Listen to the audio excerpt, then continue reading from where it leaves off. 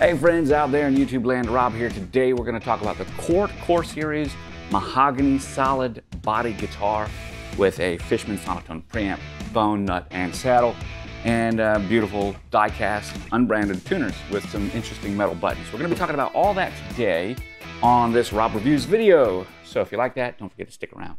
Friends, you know that sometimes I like to bring you something a little bit different to the channel, and I think this is it. I enjoy guitars. It works very well with what I do, specifically if you don't recall, Cris West in 2022, new for 2022. So gigging and playing out at some places is pretty interesting. And that's something that we've added to the lineup for our DJ and live sound and event setups and service that we have, which is which is actually really quite cool. I think it's great. Uh, as we continue, we're going to talk about this guitar, but I want you to know that nothing that you see here is sponsored. I don't have a review or any kind of relationship with Cort. If they ever send me a guitar to review, I'll let you know. Second thing is, if you hear that, there is a lot of that going on today, and it's just the way that it is. I live by an airport. They've got planes flying, and I can't do much about it right now other than record at a different time. And that's not happening. Today, I'm actually going to be recording using the Tascam Portacapture X8 and their medium diaphragm condenser mics that are on there. They're 15, 14 and a half millimeter microphone capsules. They're going to capture the Cort's natural sound very, very well. Uh, I'm looking forward to that. I'm also using a wireless lav for me, and I'll mix them in post. Although we have a Fishman Sonotone pickup in here, right, I am not going to be using any of the electric sounds out of this pickup for this particular review. I'll save that for another one. So if you want to see it, let me know in the links down below or in the comments down below. And finally, if you find any of this helpful and you are enjoying it or anything like that, please don't forget to use the Amazon links down below. They'll help me create more content and stuff like this. It will not cost you anything extra, but I'll get a little bit of a kickback. So without further ado, let's get into it. All right, here we go. And as you guys might recall, this is the second video in a series. So if you saw the first one, uh, this is the second one. Listen to that E chord ring out.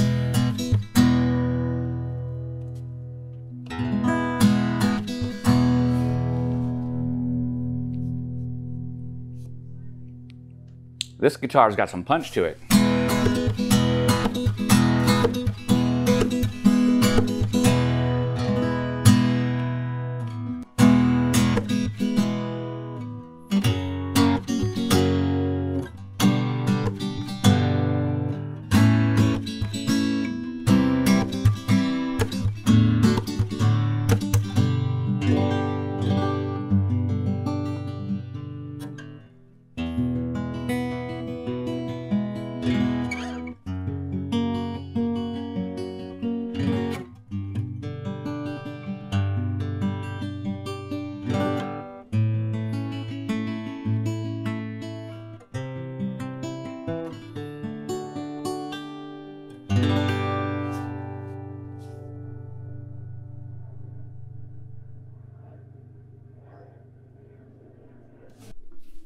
Right, friends, let's talk about some of the appointments over here. We've got an Ovangkol fretboard and bridge.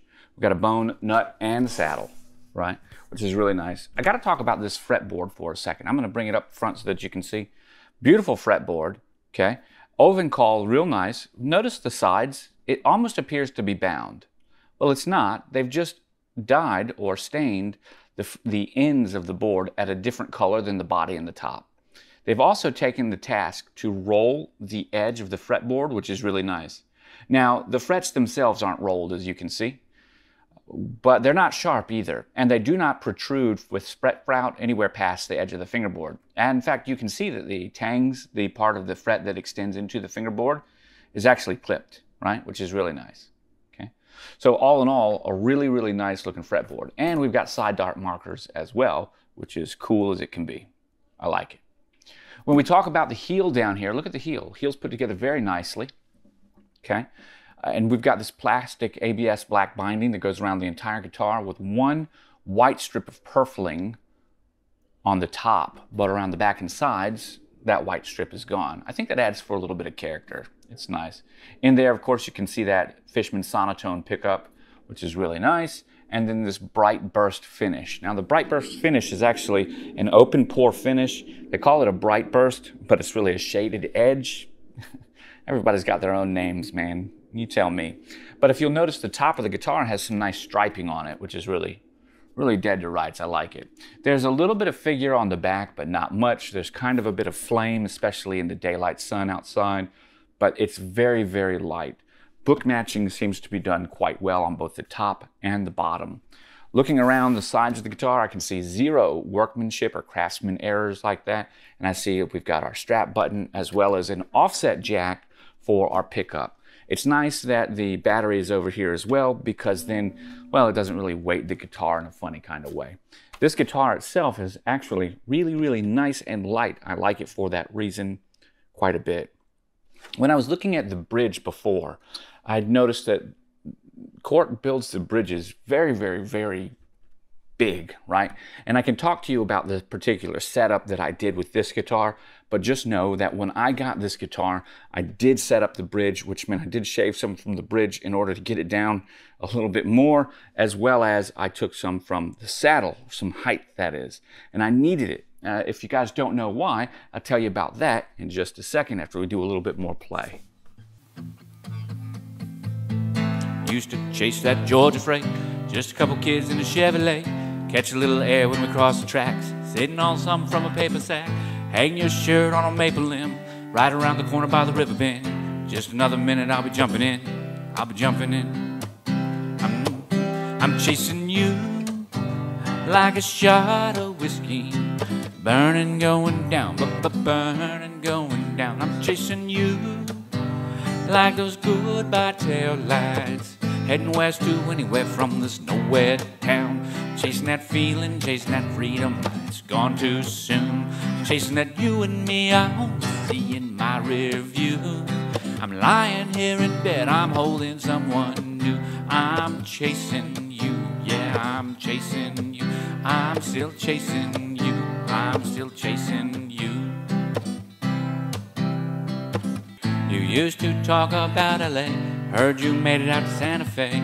Used to try and track you down. Only made it out to Guitar Town, singing about a girl that I once know. Used to know, I want you to know, I won't give it up on you. I'm just on your radio. I'm chasing you like a shot of whiskey, burning, going down, burning, going down. I'm chasing you like a goodbye tail light heading west to anywhere from this nowhere town. I'm chasing that freedom, chasing that feeling. It's gone too soon. I'm chasing that you and me out see my rear view. I'm lying here in bed, I'm holding someone new. I'm still chasing you. I'm still chasing you. I'm still chasing you. I'm still chasing you. I'm still chasing you.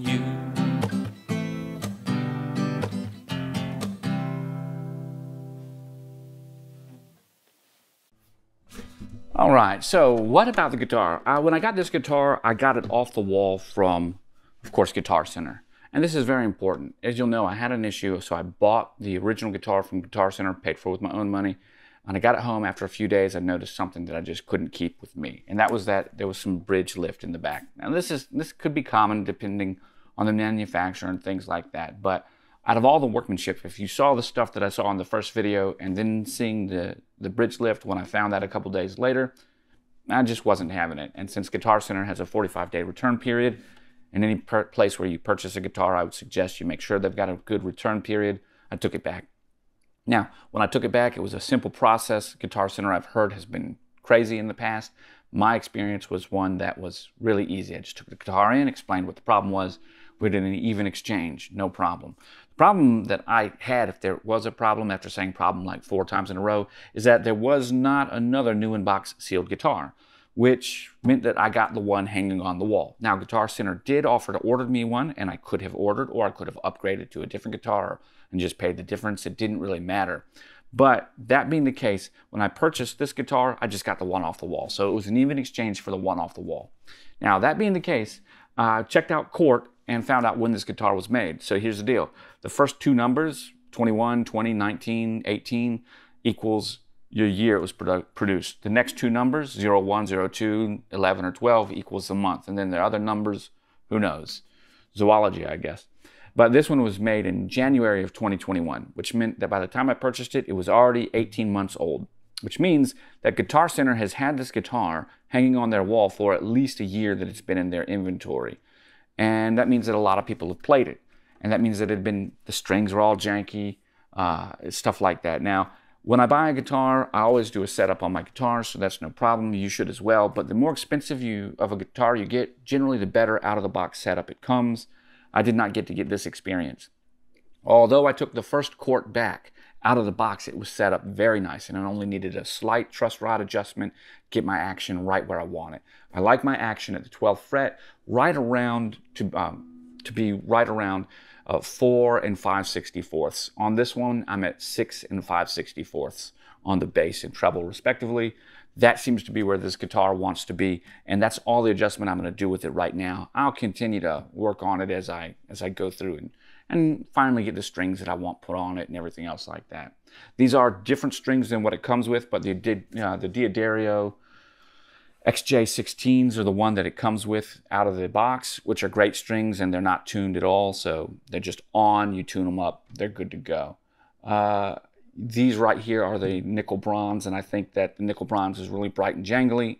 I think for me, I really like the silk and silver wound or the steel and silver wound by D'Addario because it just adds a smoother sweetness, mellow, very complements a finger play style, a little bit of strumming, and a mahogany body guitar.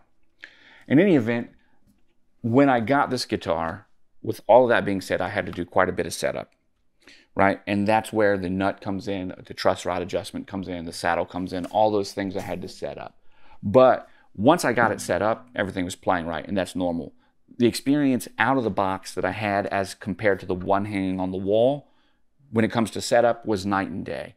So don't let me talking about the setup for the guitar I bought off the wall change the fact that the first guitar I got, even though I returned it, was set up beautifully out of the box and needed about a quarter turn, half turn of a truss rod adjustment to get it right into play after a couple days.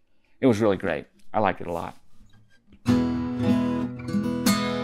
Now, as I want you to hear this guitar, and I want you to understand that um, if you can do, let me rephrase, people buy guitars for different reasons. This one really fits a spot in my toolbox where it will come out when maybe it's supposed to rain and I've got to play a gig or something and I want a quality guitar, but I don't want my Taylor or my Martins out there or something like that. Now, I want an all solid guitar as well. Let me let me make that very clear. And that's important. But if you're just out there getting started, you may not want an all solid guitar. It might be out of your price range. Well, that's where Cort's Core Series has come in at $600 between 599 and 699 on the different models, the mahogany being the least expensive. You're getting an all solid construction, fairly well built guitar with pretty much no setup right out of the box. If you do a setup or take it someplace and you pay the extra money and you get a nice setup on it, you will have a great tone right off the bat. Is it $1,000 more for a Taylor AD17 uh, E or something like that, um, yeah, I think you're getting what you pay for there. There's a complete difference in construction, and I've never had to take a Taylor back because of workmanship issues, things like that. But this isn't a comparison over that. And the question is, is $1,000 really worth that extra little oomph? It's really a law of diminishing returns at that point, I believe. But for me, heading out there, this is like the beater guitar, take to the beach, throw in the backpack. Well, maybe not the backpack, but you get what I'm saying and it's for places where I may not want to do uh, to take out something more expensive. Uh, who knows? That doesn't mean that this is an inexpensive guitar. So where it fits in your toolbox is what I'm getting at. For me, it has one particular duty and it does it very well. I don't think I'm getting necessarily much less by not paying much more, but I do see it in the setup, right? So between the guitars and everything, I do see a difference there. So when people ask, do you get what you pay for? Yeah, you do. And that's my point right there. Is a $600 guitar in it for you? Sure, probably, if, if that's what your jam is. All solid, is it good? Do I like it? Yeah, absolutely. I like it quite a bit. And I think it's a good purchase. I really do. I've emailed Cort. I don't know much about the warranty. So if you get one of these and you might be gigging, you might want to pick up a little uh, warranty through the company that you purchase it from, like Guitar Center's got there, whatever. I did not do that, uh, but maybe not so much either because if you're going to have a problem with the guitar, uh, you're going to notice it pretty soon or much later, and at which point in time you're really going to want a lifetime warranty, something like through Martin or Taylor or Gibson, where they're going to fix any workmanship issues that ever happened over the lifetime of your guitar. With Cort, it simply says when I look on the website, go check uh, whatever the place where you bought it from. I've emailed them and asked them to tell me a little bit more about that, but I don't know. May never hear from them at all. So buyer beware on the warranty side of it. But generally speaking, I think that we're probably going to set up pretty good and long time right here. But hey, that's up to you. All right, friends, that's going to be it for me today. I hope that you have enjoyed this review of the Mahogany Solid Body Core, Core Series guitar. I really like this thing. Let me know what you think down in the comments below. Don't forget to use those Amazon links and affiliate links if you'd like to support the channel. I'm Rob. I want to say I'll catch you on the flip side, and thanks for watching. Bye for now.